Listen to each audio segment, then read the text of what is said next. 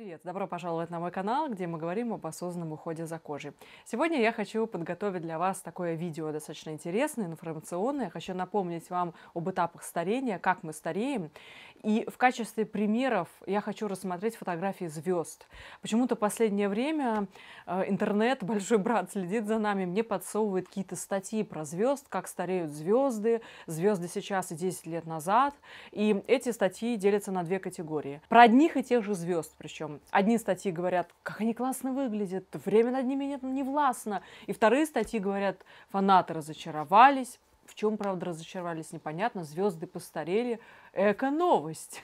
Надо же, э, не только звезды постарели, мы тоже постарели. То есть э, должен быть какой-то справедливый обоюдный процесс. Звезды тоже должны вас видеть. Говорить, о, Манька-то как постарела, а, смотри, а мои-то фильмы 10 лет назад смотрела хорошо, выглядела, а вот сейчас-то что-то не очень. А то что это такое? Мы, значит, на звезд э, смотрим, их обсуждаем. Вообще, конечно, такая ирония, и я хотела бы вас призвать не читать эти статьи и не смотреть, потому что, мне кажется, они такие, во-первых, несправедливые, они пахнут какой-то и мизогинией, и джизмом, и настраивают совершенно вас на неправильный лад. А плюс ко всему разглядывать звезд, тут сама вот эта вот профессия, если мы говорим там актриса или певица, она очень специфическая. У этих людей действительно очень своеобразный уклад жизни. И то, что они выглядят так, как они выглядят, зачастую заслуга, а не недостаток. Потому что такое количество грима, такой ненормированный график сна и отдыха,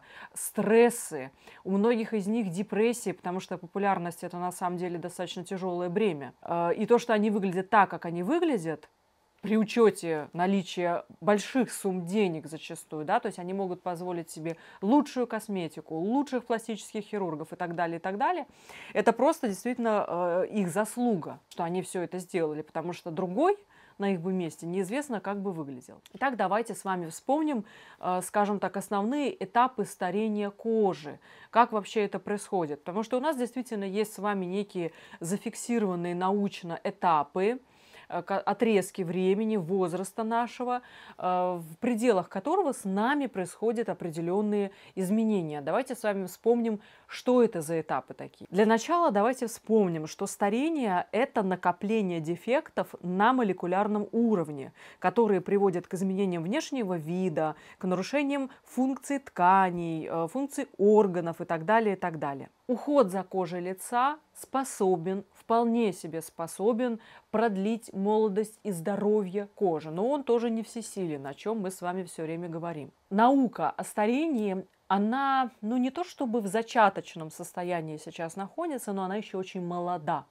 Я думаю, основные открытия, которые приведут в том числе к новым веяниям в косметологии в уходе за кожей, в частности, что нас с вами больше всего интересует, они еще грядут. И дай бог, на наш век тоже хватит, и мы успеем их засвидетельствовать, а еще лучше воспользоваться этими плодами этих достижений. Поверите ли вы или нет, но кожа начинает ухудшаться и стареть где-то годам к 14. То есть где-то с 14 лет мы начинаем стареть и портиться. Главным образом мы замечаем, что кожа становится более жирной, что она становится более грубой, более пористой, у кого-то появляются угри и все вот эти вот прелести. То есть кожа такой, как э, в юные совсем годы, она уже не будет, она будет только хуже дальше. Сначала это жир, поры, угри и все остальное, потом это морщины, пигментные пятна и так далее, и так далее. С улыбкой сказала я, как будто бы говорю что-то хорошее. Значит, с 20 до 30 лет считается таким периодом самым благоприятным. Это период рассвета, расцвета, вернее, вот так правильно сказать, э, когда мужчины и женщины выглядят особенно привлекательно по той причине, как минимум, что считается, что при всех прочих равных, если вы здоровы и так далее, вот с 20 до 30 лет кожа стабильна. В период с 20 до 30 лет с ней не происходят каких-то явных трансформаций. Такое время, условно говоря, в которое вы можете выдохнуть, расслабиться, но не так расслабиться, чтобы за кожей не ухаживать. Да? Мы все делаем, мы увлажняем, мы очищаем, мы защищаем от солнца, мы используем антиоксиданты, но это этого может быть достаточно. То есть вот с 20 до 30 лет не надо выпрыгивать из штанов, чтобы поддерживать кожу в красивом виде, если это дано вам, скажем так, да, и нет каких-то внутренних заболеваний и прочего-прочего, чтобы могло привести какому-то да, эм, эстетическому моменту, который вам не очень нравится. С 25 лет уже это нам, в общем-то, говорят даже рекламные э, слоганы и проспекты, что с 25 лет замедляется обновление клеток рогового слоя, кожа становится более тусклой, снижается скорость образования коллагена и эластина, кожа теряет упругость, и под глазами появляются тонкие линии. Это с 25 лет, и это пока что настолько неуловимо, это такие первые признаки, которые ну, большинство из нас, может быть, даже и не замечают. Все равно вот с 20 до 30 лет, если в общем таком срезе смотреть, это возраст наибольшей красоты нашей кожи, когда она вот стабильно, относительно стабильна. С 35, с 35 до 50 лет это этап заметного старения. Он так и называется. Этап заметного старения. Здесь ухудшается способность кожи удерживать влагу. Замедляется обновление клеток, уже существенно замедляется. Накапливается дефектный коллаген и эластин. Снижается количество гиалуроновой кислоты. На лице истончается жировая прослойка, происходит перераспределение жира. На скулах, например, жира может быть меньше. Под подбородком и в нижней части лица, в области щек его может быть больше. Появляются пигментные пятна, купероз, морщины. Тут я слышу плач уже у экранов. Но что поделать? Действительно, вот у нас определены эти временные отрезки, возрастные отрезки. А, и мы действительно знаем, что происходит э, с нами в определенном возрасте. Это повод и пригорюниться, с одной стороны, а с другой стороны, э, предупрежден, вооружен да, то есть если вы знаете, что с вами происходит, что ждать впереди, вы уже подготовлены к этому, согласитесь, это здорово. Далее, особенно у женщин, э, период с 50 до 60 лет – это период радикального старения. Вот именно в этот возраст, а героини нашего сегодняшнего видео, голливудские, зарубежные, естественно, голливудские, значит, зарубежные, логично, звезды. Именно они герои и героини нашего сегодняшнего видео, не наши, отечественные. Вот они как раз в возрасте, обратите внимание, 50+. плюс. И вот эти мерзенькие статейки, которые выходят, они бьют всегда именно в этот возраст. Это период радикального старения. И здесь действительно, особенно если менопауза у женщины наступила, как будто бы кто-то пальцами щелкнул, таймер какой-то включил. Действительно, многие женщины замечают, что период менопаузы вот хоть каждый день вставай и наблюдай у себя новые какие-то возрастные изменения. Это и пигментация, это и морщины, и истончение кожи, это обилие появляется уже морщин, самое главное истончение кожи и дермы, дермы в первую очередь. Почему это происходит, мы с вами говорили, когда говорили про менструацию кожу, о роли эстрогена для красоты нашей кожи, о том, что такое фитоэстрогены. Если по-прежнему эта тема не понята, э, напишите мне. Я тогда подумаю, что для нас с вами можно сделать. С 60 лет старение называется уже таким медленным, стабильным. То есть все самое плохое, что могло случиться, оно уже случилось. Вот такого резкого старения с 60 лет, при условии, конечно, относительного здоровья, ну, вряд ли найдется в 60 лет идеально здоровый человек. Так вот, с 60 лет э, мы стареем уже так плавно и постепенно, нет никакого рывка да, это уже как-то совершенно по-другому переносится. С 70 лет там уже происходят такие явные э, деградационные изменения, утолщается э, роговой слой, он становится пергаментным таким. Может быть, видели очень-очень пожилых мужчин и женщин, у них кожа как будто бы нечеловеческая такая, неживая, она действительно пергаментная дерма очень тонкая, и сквозь нее, настолько она тонкая, просвечивает подкожная жировая клетчатка. И кожа из-за этого, поскольку подкожная жировая клетчатка просвечивает, да само волокно коллагена, а он уже у нас с вами там слипся в этом возрасте, поломался, он тоже желтоватый. И кожа становится вот такой землисто-желтой. Это вот этот огрубевший такой пергаментный роговой слой и истонченная дерма делают свою работу. Здесь уже мы наблюдаем не просто морщины, а аж борозды такие и складки. Эластичность э, кожи можно уже даже ничего не говорить. Сосуды, пигментация, все остальное это цветет пышным цветом, поэтому вот такие вот дела.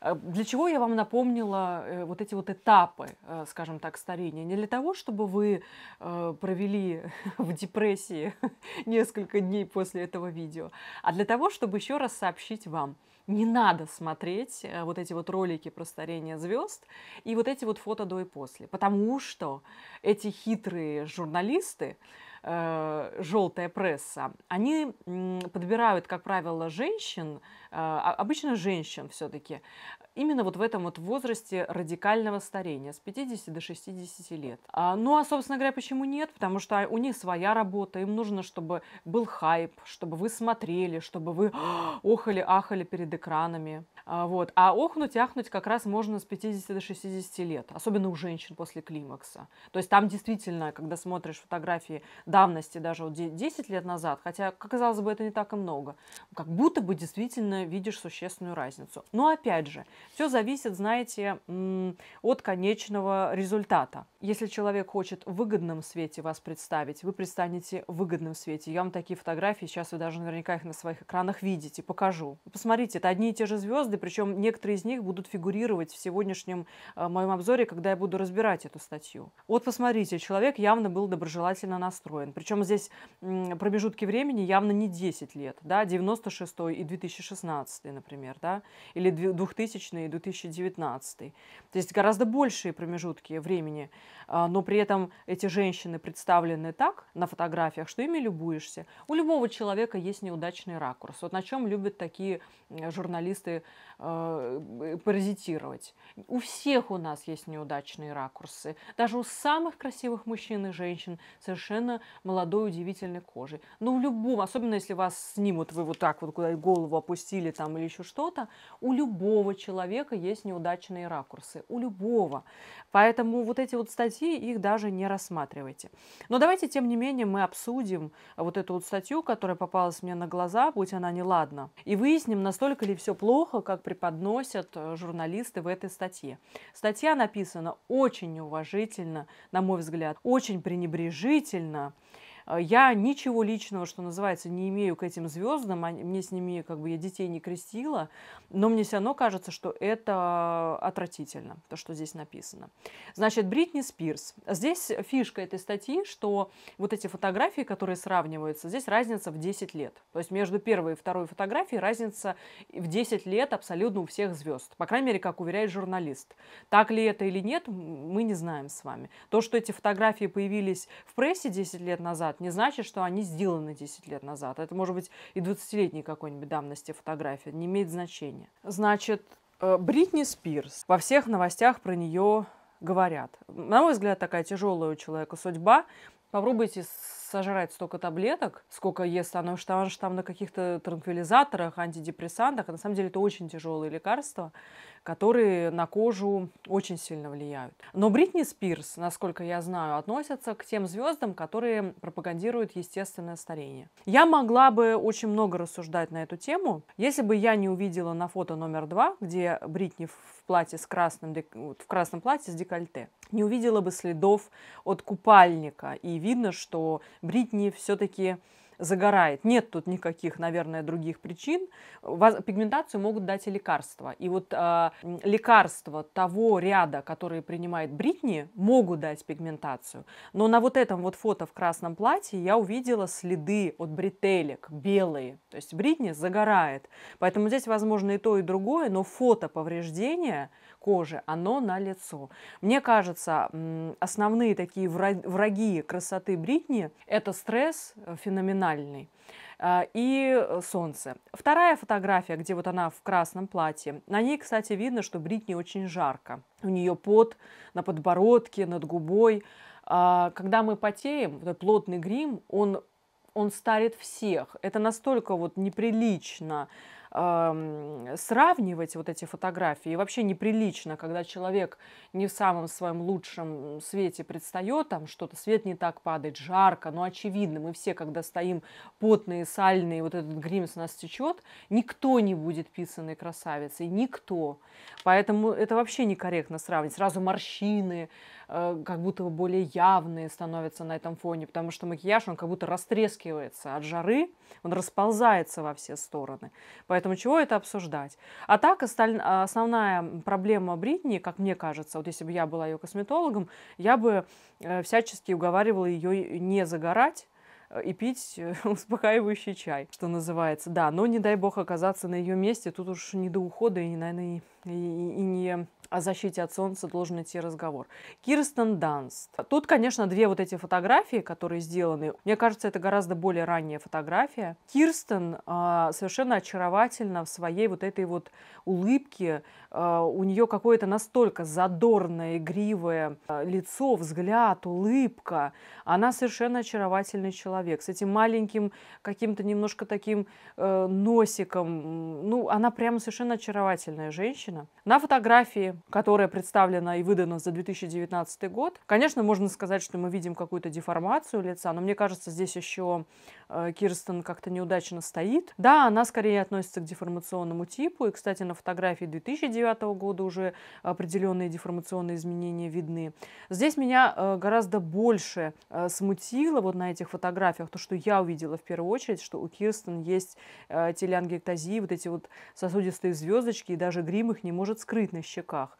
Я бы сходила бы на какое-нибудь э, лазерное удаление или на фототерапию.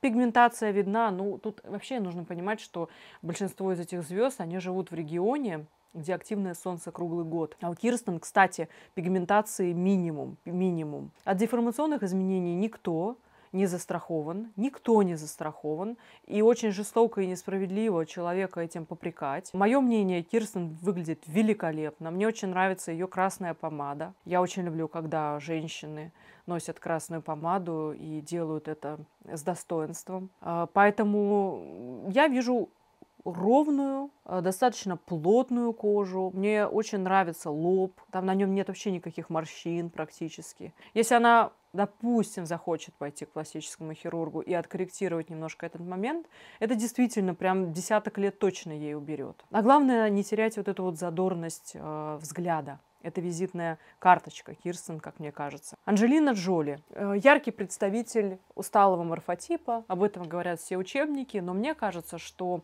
Анджелина, ее уникальность э, в том, помимо того, что она интересный, очень необычный человек, и помимо того, что она действительно выдающаяся актриса и фантастической какой-то инопланетной красоты женщина, у нее еще очень э, уникальные такие анатомические особенности. Очень редкие представители усталого морфотипа имеют такой развитый скелет черепа, назовем это так, высокий лоб, а вот это вот челюсть, вот эти вот углы джоли, как их даже называют. То есть люди ходят к косметологу специально, чтобы им сделали челюсть, как у Анджелины Джоли. А это все дает определенную площадь, во-первых, и натяжение, и крепление мышцам. То есть обычно это прерогатива мужчин. У мужчин кости черепа более развитые, у них э, старение происходит немножко по-другому. Я вам об этом рассказывала в отдельном видео про старение мужчин и женщин именно из анатомических особенностей. А тут это у Анжелины. Я не знаю, в каком нужно быть вообще э, не в себе, чтобы говорить, что Анжелина плохо выглядит. Вот фотография 2019 года, она выглядит изумительно тонкая, фарфоровая, прозрачная, при этом такая живая кожа. Кэтрин Зета Джонс. Женщина невероятной красоты.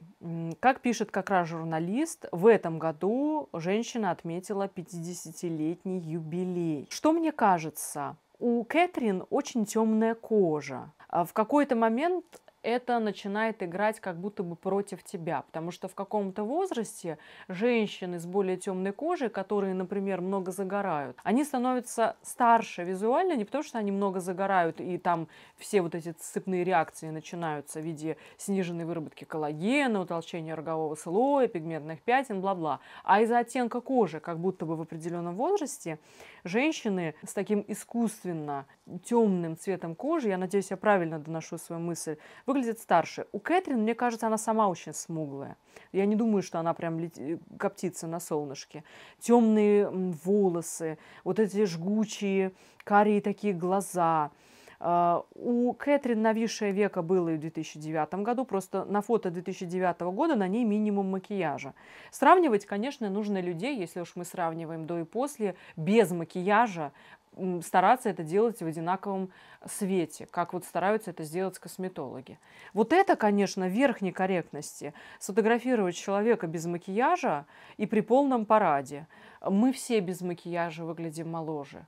Все. Что у Кэтрин? Явное есть вот это вот опущение верхнего века, и визажист это пытается исправить, ну и, в общем-то, так и должно делать с помощью ресниц накладных, которые нивелируют вот этот вот эффект. Я не уверена, что нужно было делать именно вот такой вот макияж глаз, но тем не менее здесь э, как-то они, наверное, без нас разберутся.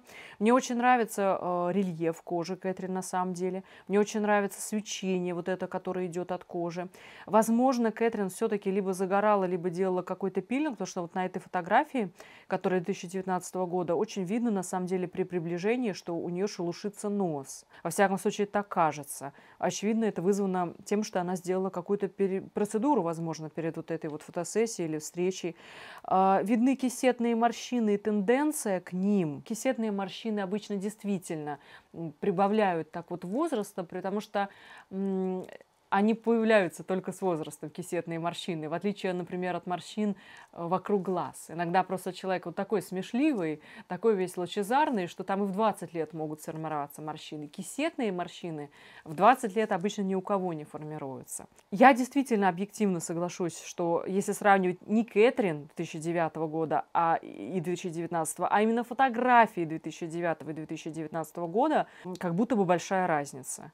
Но насколько корректно это все, как эти снимки сделаны и так далее. Не знаю, я все равно смотрю на этих женщин, они все фантастически красивые. Я не знаю, что со мной не так. Я смотрю на этих женщин, и они меня восхищают все. И, и, понимаете, морщины, пигментные пятна, вся вот э, это в конечном итоге такая ерунда. Конечно, может быть, после этого от меня все отпишутся и скажут, что это такое, мы пришли к вам избавляться от э, морщин и пигментных пятен, а вы нам тут про то, что это ерунда. На самом деле сейчас э, в косметологии очень много ведется на эту тему разговоров об этичности борьбы с пигментацией, например, и так далее. Потому что наши морщины, на самом деле, и вот все, что нами нажито, это делает нас уникальными какой-то степени, да, и эти женщины, даже несмотря на то, что, естественно, у них есть, они же люди живые, у них есть морщины и то и все, это не делает их некрасивыми, это не делает их сбитыми летчиками. Сара Джессика Паркер очень любит сейчас эту тему эксплуатировать с ней, потому что сейчас опять выходит, я так понимаю, вот новый сезон «Секса в большом городе», где все актрисы, естественно, в том возрасте, в котором они сейчас есть, предстают. И вот это обсуждается, обсмаковывается со всех сторон. Я видела Сару вживую, когда она презентовала какую-то свою туалетную воду. Она приезжала и в Петербург, и в Москву, в Литуаль. Она фантастически красива. Я не знаю, что способно испортить эту женщину. Во-первых, у нее идеальная фигура. Она очень модная. Мне нравятся ее волосы. И мне нравятся ее вот эти именно распущенные волосы. А, многие люди почему-то считают, что женщинам в возрасте негоже носить распущенные волосы. А тем временем все э, актрисы, которые сегодня у нас с вами на экране, которых мы видели в сегодняшнем видео, у них у всех распущенные волосы, ухоженные, блестящие, красивые. Что сказать про Сару? А, Сара для меня вообще образец женщины, которая, если вот в отдельности рассматривать ее глаза, ее нос, ее губы. Кажется, это какой-то просто чудовищно непропорциональный, некрасивый человек. Но когда вот это вот все в купе и ее харизма, от нее невозможно оторваться от Сары. Она настолько красивая, и вот эти глаза как будто бы такие маленькие, но при этом они такие лучезарные, то есть, я не знаю, может, я как-то неправильно на, на людей под каким-то не тем углом смотрю, но мне кажется, что она очень необычная женщина. Просто очень ее хочется разглядывать. Кстати, я не вижу гигантской разницы между фотографией 2009 и 2019 года, которую здесь нам автор предлагает. А, те изменения, которые мы видим на фотографии 2009 года, они же видны на фотографии 2019 чуть-чуть, э, может быть, в такой спрогрессировавшей форме. Но все равно четкий овал лица. Совершенно такой, мне кажется, правильный макияж. Кожа, ткани в хорошем тонусе. Ну и возрастные изменения вполне себе объяснимы и понятны, но это не делает ее некрасивой. Это очень странно. Синтия Никсон. Вот здесь, конечно, очень грустное фото до и после, что называется, фото 2009 года и 2019 прям очень грустные. Деформационные изменения в нижней трети, прямо такая дряблая, обвисшая кожа. И опять я прям очень сильно сомневаюсь, что это фото 2009 года. Вот очень сильно сомневаюсь. Если это действительно так, я бы сказала, что Синтия перенесла какое-то заболевание, и вот это вот такое старение радикальное вызвано именно им. Потому что это не совсем даже как-то объяснимо, а вот такая вот разница. И это же, кстати, касается Лизы Кудроу. Хотя у нее вот эта тенденция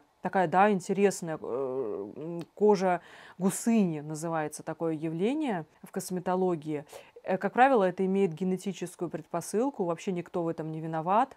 И кожа, она на шее начинает деформироваться в достаточно раннем возрасте у таких людей. Причем, посмотрите, у Лизы по-прежнему достаточно такое моложавое лицо, задорная улыбка, лучистые глаза.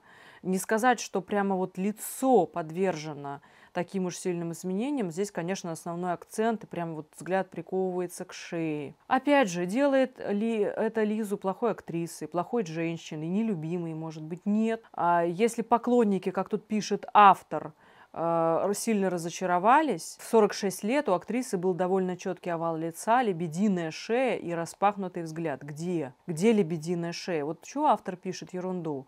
Но тут все эти изменения, они уже на шее. Какая лебединая шея и распахнутый взгляд. И вот Наоми Уотс. Тоже у меня очень сильные сомнения по поводу того, что это 2009 год. Очень сильные. Тут человек выглядит лет на 20 моложе. На фотографии 2019 года кожа выглядит очень сильно погрубевшей и утолщенной. А, как правило, в таком возрасте, как у Наоми, к этому что-то приводит. Например, злоупотребление солярием может такое выдать. Века нависшее у Наоми было всегда, и на фотографии 2009 года оно есть. Морщины на лбу, прикрытые челкой, а, в какого-то фотографии не лучшего качества тоже проглядываются. И на четкой такой фотографии 2019 года, они всего лишь еще больше видны. И дальше что? Здесь главное, чтобы человек был востребован, чтобы он был любим, и так далее. Если морщины действительно приносят